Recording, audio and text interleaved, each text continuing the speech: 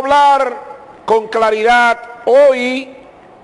algunos taxistas de esta ciudad y de una de las más importantes bases de taxi de Santiago serían los primeros, los eh, primeros llevó a cabo, están llevando a cabo problemas o planteamientos a los fines de desestabilizar a una empresa que ha dado todo por el todo para colocarse en el sitial donde está apostada esta importante empresa conocida como Evitaxi de uno de los hombres más sabios y trabajadores que tiene la ciudad y el país, don René Tavera.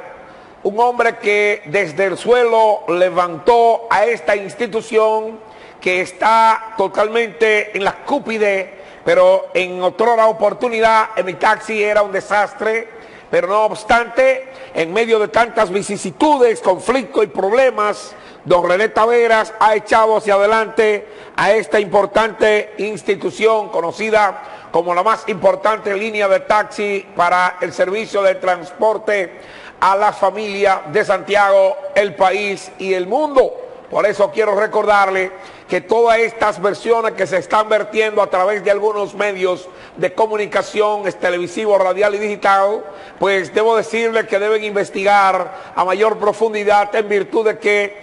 Taxi está en poder de un ejecutivo empresarial que ha sido uno de los más transparentes administradores de empresas de taxi en el país, don René Taveras, que dicho sea de paso, reside en la ciudad de Nueva York, pero que de manera personal monitorea y trabaja día a día desde cualquier parte del país a favor de los, de, los choferes y dueños de unidades, así como también de la empresa, no hay forma de contrarrestar ni cuestionar la labor que ha desarrollado en pro y crecimiento de los taxistas. Por eso el programa El Reportero en la tarde va a hablar con gallardía y con imágenes.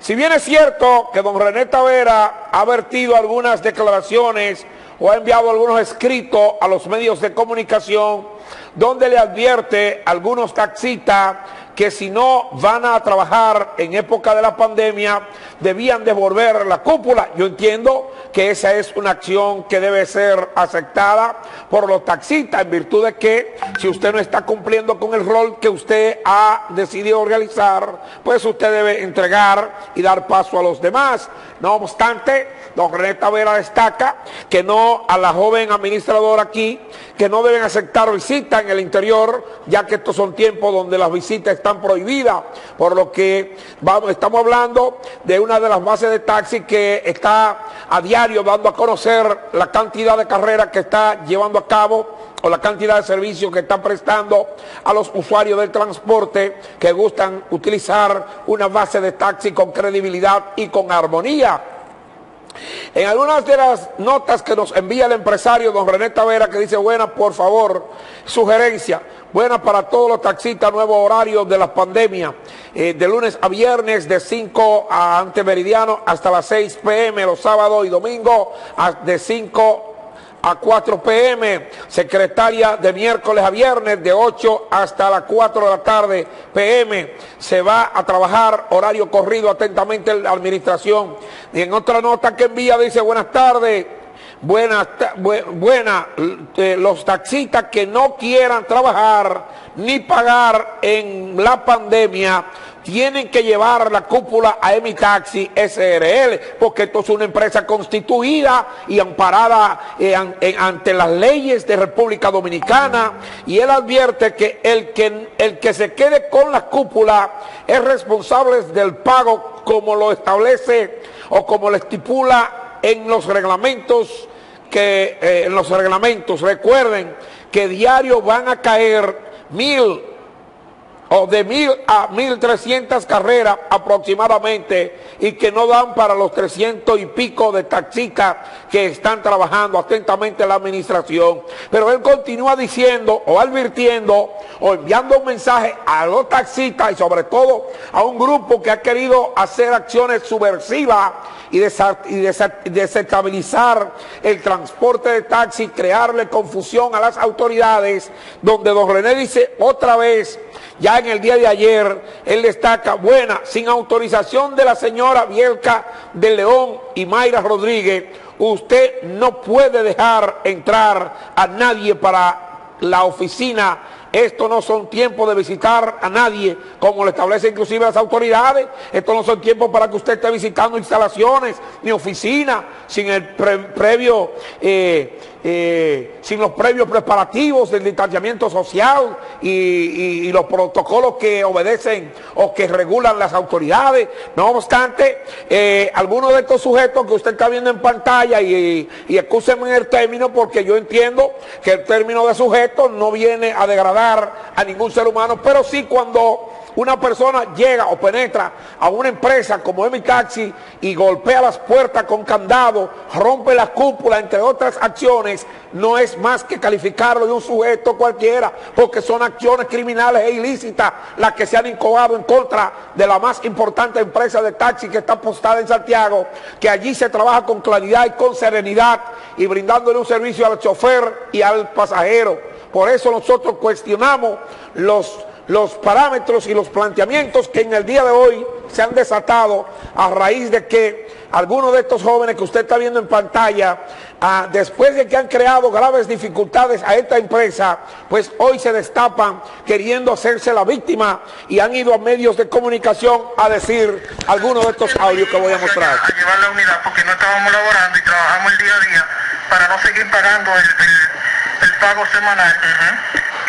Cuando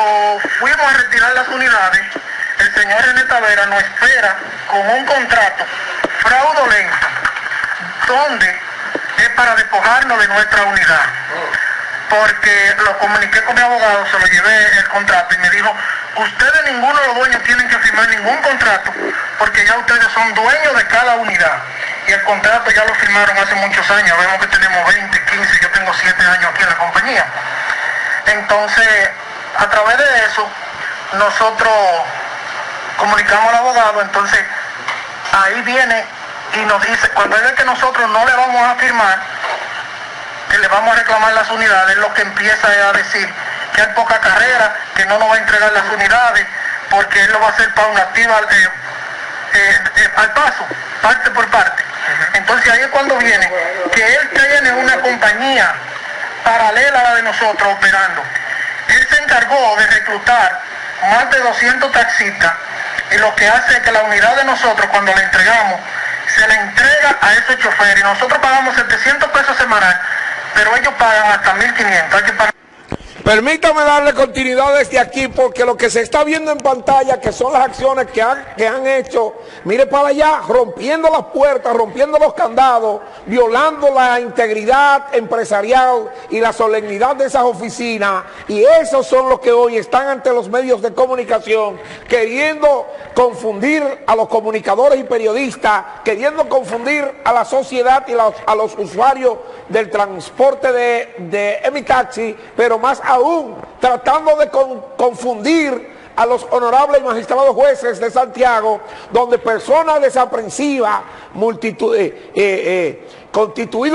en multitudes, llegaron hasta esta institución a destruir los candados, a romper las puertas, a romper las cúpulas y a crear dificultad y problemas a la empresa conocida como Emitaxi, que ha sido una de las empresas que más dolor, eh, que, que más dolor de cabeza ha recibido por los afiliados, porque déjeme decirle, no son uno ni dos los conflictos que le han creado a este joven empresario, a don, a don, a don René Tavera. Pero mira cómo ellos entran, rompen los candados, derriban prácticamente las puertas y también entienden que tienen la razón porque entienden que son dueños de la base de taxi o de la empresa de mi taxi. Oye, pero, pero ese es un proceso que se ha ventilado ante los tribunales de Santiago. Ese es un proceso que los jueces ya dieron fallo a favor del empresario don, René Taveras y mi taxi para que ellos hoy quieran venir, o un grupito quiera venir a hacerse la, víctima y a crear dificultad y a confundir a los comunicadores y a la sociedad. Esas no son las acciones que se están viendo en pantalla, porque en pantalla se está viendo que llegaron constituyéndose en turba para romper los candados y penetrar de manera abrupta, de manera violenta al interior de mi taxi, a secuestrar a mi taxi. No se sabe lo que pudiera, lo que pudo haber ocurrido ahí Porque cuando usted le irrumpe en su empresa, que con tanto esfuerzo, dedicación y, e, e inversión usted realiza, es para que vengan de buenas a primeras, porque entienden que a ellos hay que darle más del pastel que están devengando, pues es algo podría o pudo haber pasado ahí. Yo no entiendo esto. Entonces hoy, este señor junto a, o estos señores, y junto a algunos de ellos, se han desplazado hasta esta institución y han ido hasta los medios de comunicación, pero don René Tavera destaca que el que está rompiendo los candados ahí cuando se, eh, en esa oportunidad es Wilfred Rosario, unidad 287, y el que rompe la cúpula se llama Joselito Esteves, que es la unidad 52, es entonces yo no entiendo esto porque la realidad es que se observa en pantalla que han roto la integridad de esa institución y entonces viven haciendo diablura y quieren venir a confundir a los periodistas y a los medios de comunicación. Y no solo eso, a las autoridades para que vengan entonces a ponerse en contra del empresario don René Tavera, que solo ha hecho poner en alto y transformar a esta institución que hoy en Santiago y el país es la más importante de las bases de taxi y la que tiene mejor calificativo por la sociedad y mayor aceptación. Pero eso que usted está viendo en pantalla no fueron acciones eh, eh, sanas ni evacuadas de un tribunal, fueron acciones vandálicas, buscar martillo eh, y destruir los candados, la cerradura, romper cristales, romper cúpulas y hacer tumulto y hacer escándalo y crearle dificultad al personal en bajo amenaza eh, mire para allá, porque las imágenes hablan por sí solas, para que hoy ellos quieran venir de cara fresca y de cara limpia, a venir a cuidar, a, confundir. Hoy fueron a las emisoras y han tratado de confundir a la sociedad, pero nosotros como programa, que conocemos el accionar de esta gente, le estamos mostrando quiénes son y dónde están, los que están detrás de que las autoridades eh, evacúen un fallo a favor de ellos pero ¿cómo van a evacuar un fallo a favor de aquellos que ejercen acciones fuera de las leyes? Que aquí entienden ellos que están facultados para violar las leyes y violar la integridad de las empresas, como se está viendo en pantalla, porque en este programa con imágenes que vamos a hablar, aquí no me venga usted a decir una por otra, porque las imágenes están ahí y hablan por sí solas. Es decir, que todas esas falacias que fueron a decir a una emisora de Santiago, a un programa importante, no es más que tratando de desvirtuar la realidad de lo que han hecho y el por qué están en la posición que están y a nivel de la empresa no son tan importantes. Hemos tenido la disposición, pero él dice que no habla con taxista, pero me, me da pena porque él es taxista en Estados Unidos. Él trabaja allá y administra las cosas vía internet, administra la base. Porque él es taxista en los Estados Unidos, es que él entiende que eso que han hecho con su empresa de mi taxi aquí en Santiago es un acto vandálico, un acto perverso, un acto criminal, un acto de turba y de asalto, porque ustedes asaltaron esa empresa y llegaron de manera violenta, que si la policía no va, pues ¿quién, quién podría imaginar lo que hubiese ocurrido en el interior de esta institución ubicada en esta ciudad de Santiago y conocida como Emitax? Lo que significa que ellos están buscando un supuesto acuerdo que solo le conviene a ellos, mientras que a los demás taxistas que no están de acuerdo a esas acciones que ustedes están haciendo y al estilo y a la forma en la que ustedes entienden deben trabajar en Emitaxi para ser socio de esa empresa, la empresa no está facultada ni está de acuerdo a que ustedes pongan las normas que entiendan, le benefician a ustedes, pero que va en perjuicio de los estatutos que establece la conformación de esta importante institución conocida como Emitaxi. Señor director, permítame observar cómo está eh, dando Emitaxi el mejor de los servicios en esta ciudad de Santiago, que inclusive están revestidos de los protocolos que establece salud pública, están revestidos de los productos para evitar el contagio del coronavirus, como lo narra esta hermosa dama que sirve como socia y como taxista de Emitaxi quien no participa en ese tipo de acción que se vieron en pantalla, porque realmente mi taxi es una empresa de Santiago y dirigida y presidida por uno de los hombres más brillantes y más pulcros como es don René Tavera. Escuche usted y observe que todo lo que se ha dicho en las emisoras y en los programas son solo falacias para buscar eh, atención de las autoridades. Vamos a escuchar lo que dice esta dama, señor director.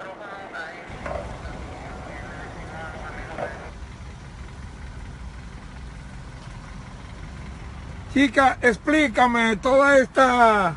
todo estos dispositivos que estamos viendo aquí en este taxi de mi taxi. ¿Por qué que estamos utilizando todos estos dispositivos? ¿Qué buscamos con esto a través de esta empresa? Sí, la, la administración y René Taveras eh, acogió esta medida por la situación que estamos pasando del COVID-19. Entonces, para la tranquilidad del cliente y la seguridad de nosotros, eh, hicimos, hicieron este trabajo. ¿Cómo es esto? Por aquí te pasamos el dinero. Le abro, me, me pagan. eh, no hay necesidad de contacto. Cada vez que yo voy a cobrar siempre tengo mi guante. Es una seguridad. Si que yo, yo quiero manita limpia, alcohol, pañito de cloro. Tenemos todo, todo. Todo tranquilo aquí. ¿Y cuáles días estamos dándole un servicio al pueblo? Todos los días. En mi taxi no ha parado de trabajar, por eso tomamos esta medida para seguir laborando, porque tengamos compromiso, usted sabe. ¿Y qué cantidad de unidades más o menos están dándole un servicio a este pueblo de Santiago Eh, en ahora- cuanto a mi taxi? Hay como 200 unidades trabajando ahora mismo. Sí. ¿Y la demanda cómo andan? Eh, se está trabajando porque siempre mi taxi tiene su cliente, que siempre llama en mi taxi por, por el precio. Usted sabe que es la mejor compañía ahora mismo en Santiago. Ok, usted tiene mucho tiempo dando un servicio a través de mi Sí, taxi. yo tengo 18 años y en mi taxi tengo 2 años. Soy la unidad 100. Ok. Ya usted sabe, nos estamos cuidando para el COVID. El señor René Tavera ha tomado esta medida. Eh, estamos a sus órdenes. Muchísimas gracias. ¿Tu nombre? Elizabeth. Muchísimas gracias. Sin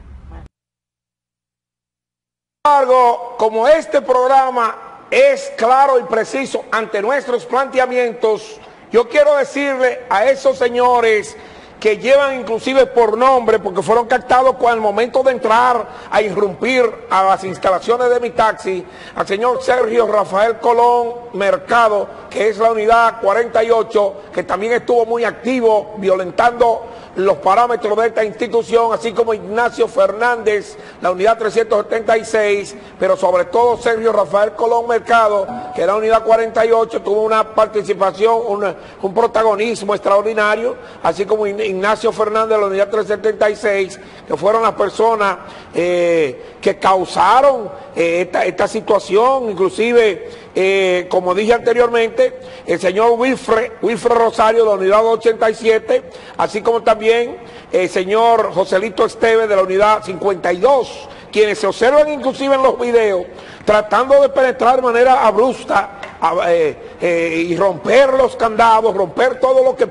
encuentren a su paso, que son las acciones que este tipo de personas realizan. Pero entonces vienen hoy, atención Henry Cabrera, gracias por tu comentario, y Fra- Raúl Ariosto Roque, que es mi hermano Raulito,